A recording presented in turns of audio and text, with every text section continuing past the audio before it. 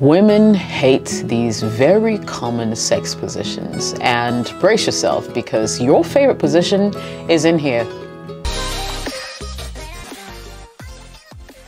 Welcome back, Jessica here. You know, I got this message from a guy who was complaining that no matter what he did, no matter what sex position he tried, his girlfriend would always complain and make him feel inadequate and less of a man. After a few conversations with him and going into great detail of what exactly he does and what kind of um, positions he was trying out, I realized very quickly that he was the problem. I'll explain as this video goes on. You see, there are so many men who tend to believe that the way they know how to do things is the way it's done.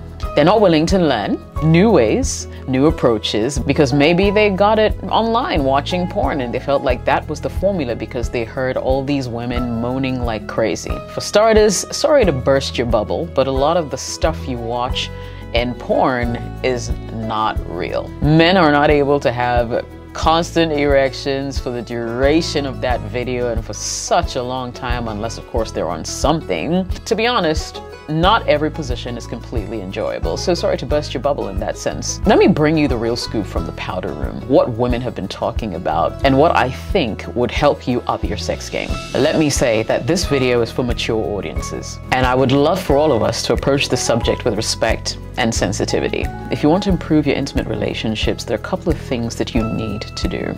The first thing is to learn and unlearn because too many guys seem to think the fastest way or the easiest way or the best way to make love to a woman is kiss her lips, then kiss her neck, play with her boobs. If you're into oral sex, go down on her, and then penetrate. As to whether she enjoyed the moment, as to whether she achieved orgasm, is really none of your business. You're able to bust a nut, you're happy, you roll over, you sleep and you call yourself king. Ah, sorry. Right now, you're not kinging. Why? Because women are complaining behind your back. You seem to have one formula that's worked for you.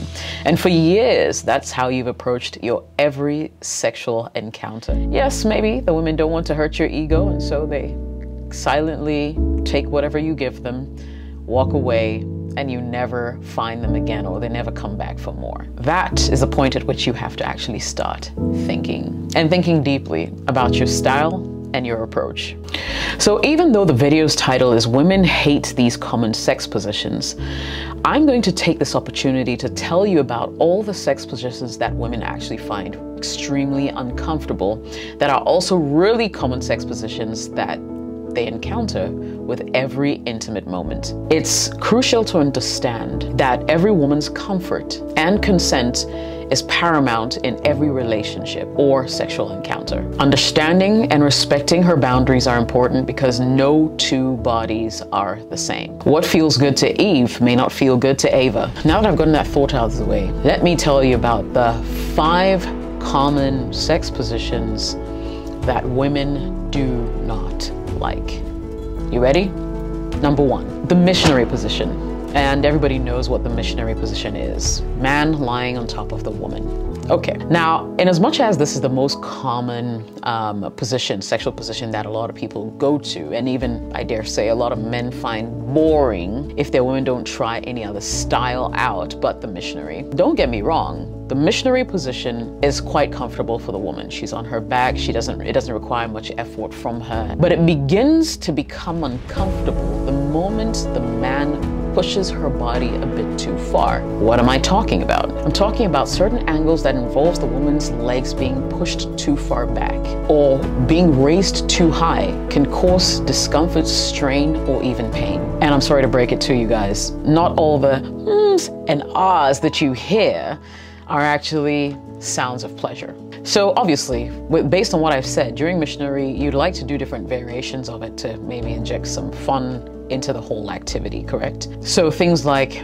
lifting her legs and pushing them towards her body so it can gain more access to her vagina can quickly become painful and or uncomfortable depending on the size, and I mean the physical size of the woman. So when you do such things, you need to really be sure that this woman is flexible enough, that she can take it, that she's not uncomfortable, and the different ways you can do that by observing her body language as the act is going on or asking her if she's enjoying the position. One way to get yourself out of a very uncomfortable situation would be to merely ask, Are you enjoying this? Is this good enough for you? And the second sex position I'd like to address is kind of closely related to the first one and the reasons why the first one isn't exactly great. Now, this position is also uncomfortable or disliked by quite a number of women because it allows for deep penetration the doggy style. and I get it. Men tend to like the doggy style position because you get to see the derriere of your woman and you sort of take full control of thrusts and how hard you go or how slow you go and you're unhinged or unhindered in that sense. But the reason why the doggy style can quickly become one of the least favorite styles for women is the deep penetration bit of it makes it very unpleasant and or uncomfortable, especially if the guy doesn't know just how hard he should be going or not. Bear with me here. There's some guys who like to literally hit the womb of a woman. That's not pleasurable, it's painful. And a lot of women will attest to that. So if you're someone who loves the doggy style, I'm not saying don't do it. I am saying that be mindful of how you engage. Contrary to what a lot of guys think, deep penetration can be very, very painful and uncomfortable for women. So if you're going to approach the doggy style, approach it with all the gentility that you can muster. Now, before I jump off the doggy style position, let me also say that you need to consider the size of your member before you engage in that particular one. Because if you are too big, that whole awkward position of her having to arch her back and whatnot actually makes the vagina a little tighter. And so all she's going to be feeling is pain instead of pleasure. Now, there's this guy who's been giving me vibes that his default position is to grab the woman, pin her against the wall and make love to her, right? He's a big guy. He's got bulging muscles. Lifting any woman is not a problem. But let me tell you what the issue is, and this is going to bring me into number three. The issue here is a lot of the standing positions are very uncomfortable, both standing and unsupported positions. And I get it. Some of the styles are just generally uncomfortable, but I think a lot of men need to consider the woman a little bit more before they engage and especially engage in certain sexual positions for a very long time. Now the reason why I say standing and unsupported positions are um, can be disliked by a lot of women is the fact that she has no control of the level of penetration that she gets. If you pin her against the wall, it's your strength you're using to keep her in the air. She cannot pretty much help you in any other way. And the level of thrust will also come along with, for instance, how you pull her towards yourself as you're thrusting, um, etc. And so in that case, she won't be able to regulate the level of penetration that she's getting from that position. And if you happen to be too big, uh, thrust too deep, it can quickly turn painful and uncomfortable as opposed to pleasurable. And I know some of the stuff we've seen online and in movies and stuff like that can be very, very deceptive. They make it seem like it's all pleasurable and women love that kind of stuff. Not necessarily as you're finding out in this video. Let's move on to number four.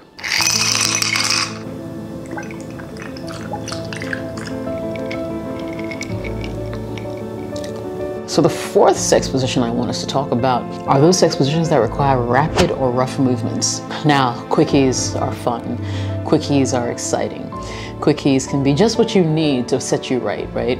Um, especially when you have no time and you're in the mood. Now, the thing with positions that come along with quickies are usually they're so awkward because you're trying to fit into a space, maybe at the back of your car, maybe you're trying to um, fit into some small shower or, you know, just some place that you know you're not supposed to be doing this. You're in a hurry, right? You want to get this over and done with. Now, quickies that happen in very awkward spaces also allow for women to dry up very fast depending on, once again, just how awkward a position she's in, you know. There, there are times when if it's rough sex and you're going so fast, you may not be able to wait for her to really be well lubricated or turned on to enjoy the moment, so it ends up being really painful. And there's also, depending on what position she's in, she could dry up really quick if she's exposed to a lot of air in the meantime while those while the sexual act is going on. So these are some of the things you need to consider when you think about like positions that require rapid, rough um, movements or sex, um, like the quickie. Okay.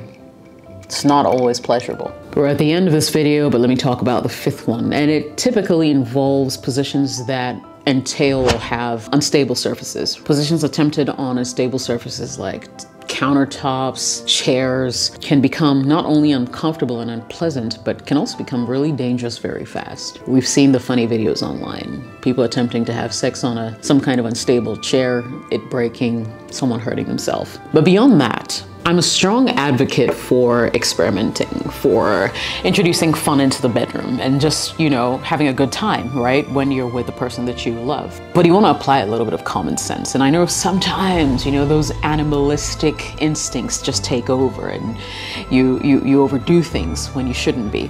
The catch here is, I'm not speaking for all women, but a good number of women want to have time to make out, to have sex with the men that they love. They want to feel loved all over their bodies. They want you to not just jump straight to penetration or put her up on a kitchen counter because you've seen that happen in the movies. The kitchen counter may be slippery, may be hot, may not be ideal. It's an awkward position when you think about it, especially if you're a short guy and you're not even up to the height of the counter. And you know what I mean? Like if your penis is slightly below the countertop, it can be a really awkward position for the woman. It's either she slides forward a little bit to meet you or, you know, it's it's it can be a mess really quickly, I guess is what I'm trying to say.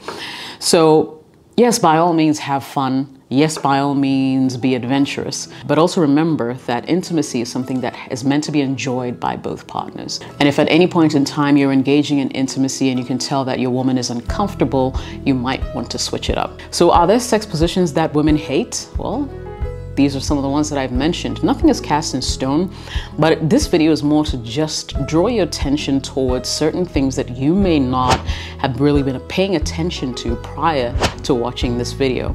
Go out there, make some decent love, and I'll catch you on the next one. My name is Jessica. Cheers. See ya. I think I'll finish my drink. Ugh, my knees hurt.